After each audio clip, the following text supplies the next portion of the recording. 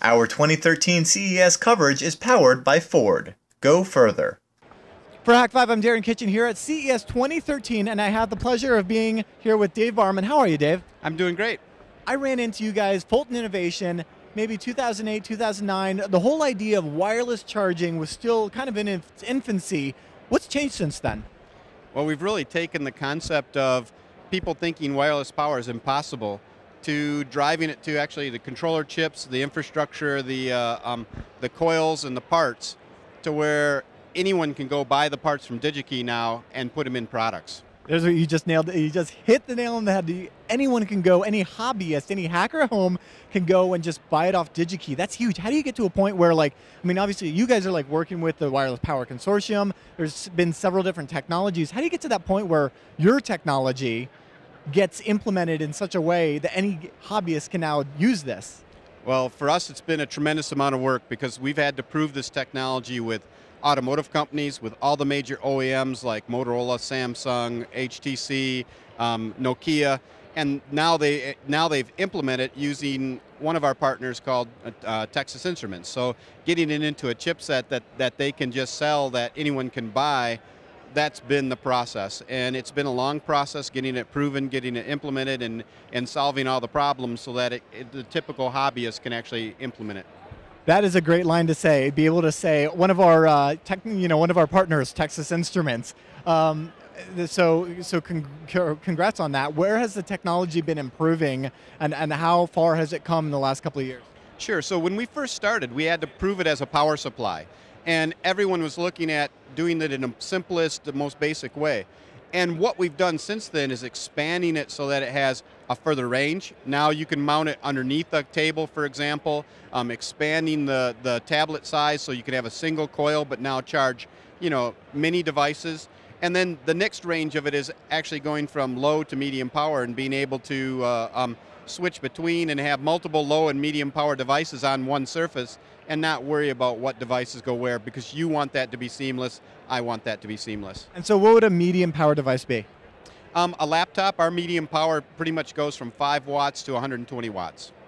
That's awesome. Now, when you start going up in wattage, do you what, what's the challenge there? Do you get bigger coils, or or does it have to be closer to each other, or what, what's the challenges there? No, so the challenge is I mean, we're doing a vehicle where we have uh, over six inches of spatial freedom and we're able to charge at kilowatts. So the real challenges are more about safety, robustness. Um, a laptop, for example, when it spins up the drive, the quad core kicks in and the display lights come on all at the same time um, really dramatic power supply changes. And so your control has to be very fast in order to handle that. I hadn't thought about that because it's saying, you know, as opposed to like traditionally wired power, you don't have to really think about the fact that, you know, if you can supply me three amps at 19 volts and I just ask for it, you're going to give it to me, right? So you actually have to have a controller that changes what the oscillation of, of the energy through these coils or how does that work so we're actually changing um, the amount of power that's transferred and at times the tuning of that you know, in order to make sure that we're, we're staying consistent with what the device needs. So there's a variety of different things we can change in order to do that. And the control system makes those up on the fly. It determines what are the best levers to control. So you had mentioned safety. I want to know, has it been difficult when it comes to the regulatory stuff? I mean, you've got to get UL and FCC and all of those other things to be able to bring this to market, to be able to have like a Texas Instrument put together a package that, eh, you know, any OEM can uh, implement in their products. How has that been? So it's actually been pretty fun because what we've done in the Wireless Power Consortium and what we've done eCoupled for the Wireless Power Consortium is we provide transmitters that can work in automotive. So the, the real regulatory issues are what does automotive want and what are their regulatory standards and what is the home want and what is the you know what does the office want and what are all these different like the furniture manufacturers so providing a technology that's versatile enough to be able to have to meet to have and to meet all the regulatory requirements and all those different uh, infrastructure requirements that's been the fun thing. And if you look across in the wireless power consortium booth um, you'll see that we've done that in every one of those spaces. You guys haven't tackled uh, medical yet? I'm sure that's a lot more fun. So we actually have but medical's longer right? So some of the things that we've done in medical is actually making coils that actually go in your vein so an in, interveneal sensor that will actually monitor your, your um, blood pressure and your blood flow. So I could literally lay down in bed and dock at night. That's pretty much it. Yes. My mind's blown. That's really cool.